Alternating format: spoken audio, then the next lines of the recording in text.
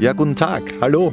Mein Name ist Michael Kaiser, ich bin Buchautor und ähm, schreibe Romane und Kinderbücher, was eine schöne Ergänzung ist, weil ich mehr oder weniger das gesamte Altersspektrum abdecke damit. Uh, ursprünglich habe ich mal Pharmazie studiert und ursprünglich habe ich einmal 13 Jahre in Konzernen gearbeitet. Und daher war auch das erste Buch, das ich veröffentlicht habe, im Hamsterrad. Eine Satire in der es um Leben und Arbeiten in Großkonzernen geht. Es steht vorne drinnen, Ähnlichkeiten mit Firmen, in denen der Autor gearbeitet hat, sind zufällig.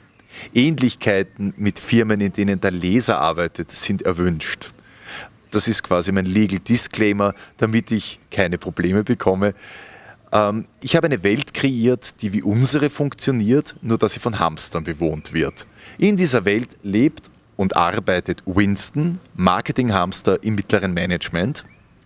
Und wir begleiten Winston durch eine Arbeitswoche. Eine Arbeitswoche, die wie für Konzerne üblich mit einer Umstrukturierung beginnt und in der Winston alles macht, was man ihm anschafft, nur nicht das, wofür er eigentlich bezahlt wird.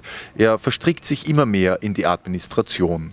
Es ist alles dabei, was das Leben und Arbeiten in einem Großkonzern so unglaublich lebenswert macht, von der EDV-Hotline am anderen Ende der Welt bis hin zu Marketingprojekten, die durch konzerninterne Vorschriften bis zur Unendlichkeit filetiert werden, auf eine 195-seitige komprimierte Satire. Es ist eigentlich Spaß über ein Thema, über das nicht viele lachen wollen oder nicht viele lachen können.